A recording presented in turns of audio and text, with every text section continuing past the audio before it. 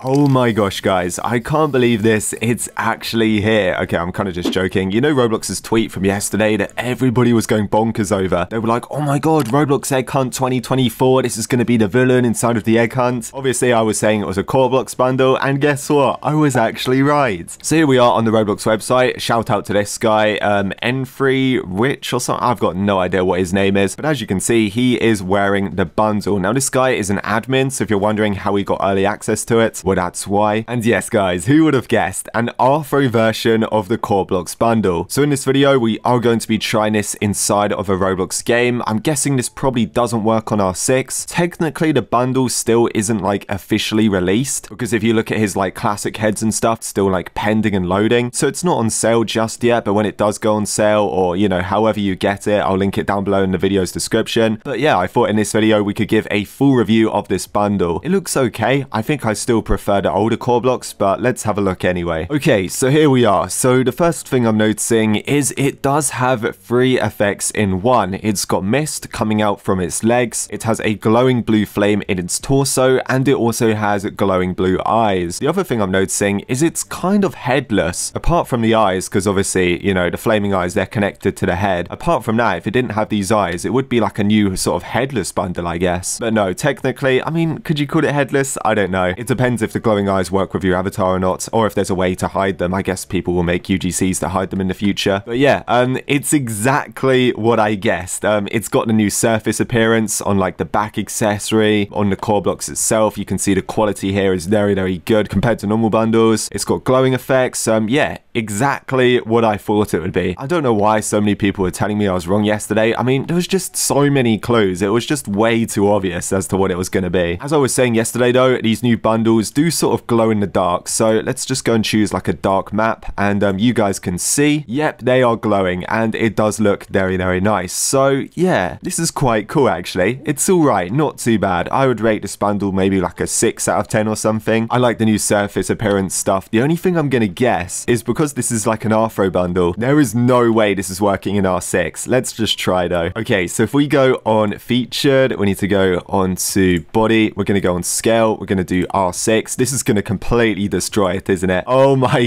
god. So there you go. If you guys ever use this bundle in R6, well, it's not going to work at all, except for the Scythe, which goes into 144p horrible quality mode. But yeah, there you go. That's kind of what we expected, isn't it? At least we can confirm one thing. It has literally got headless on. So yeah, maybe if you use this in R6, it's like a new headless alternative. I'm not gonna lie, that's like really, really interesting. The only downside is we can't really see like all of the parts just yet because technically technically like it's not on sale and all of these pieces haven't been like verified or you know like accepted by moderation or whatever. They're still pending on the website. Um, but once they're not pending then um yeah i guess we could like check it out a bit more. But there you go. That's the new Korblox bundle. Not an egg hunt. Um obviously most of us knew it wasn't an egg hunt. Just a few people got a bit too excited. And um yeah i'm not surprised to be honest. This is exactly what i thought it would be. Let me know what you think about it down below in the comment section. Don't be disappointed because we've still got the hunt thing to look forward to that's entirely separate. People were getting the two things confused, which just makes everything a mess, but there you go. And um, yeah, I think that's pretty much it, guys. Actually, no, I take that back. It's not the end of the video because Roblox have uploaded it onto the website. And guys, look at this. Oh my god, everybody is going to be so angry. It's 29,000 Robux. Are you freaking kidding me? All of that hype for something worth 29,000. Nobody's buying this. Okay, to be fair, you could use the 40% trick and get it for like 11,600. But even so, oh my god, this sucks. Nobody's gonna buy that. Also, it's available until March 31st, so they're trying to make this like a rare exclusive thing. Nobody cares. Roblox just doesn't understand their fan base at all, do they? I'll tell you what, let me try to head really quickly, but I have a feeling this is gonna be a complete mess. Okay, so here we are in Catalog Avatar Creator again. Let me just go and select the head. I know this is gonna bug out. Yep, just like I thought, it squashes everything down. Oh my god, this is is a load of crap. So you can't even use the headless with it because it just squashes your face and accessories down. This thing's absolutely rubbish. People are gonna be mad over this. Hey, like I said, guys, don't get excited when Roblox release this stuff. They only care about money. They don't care about you. Everything they do is just so disappointing, let's be honest.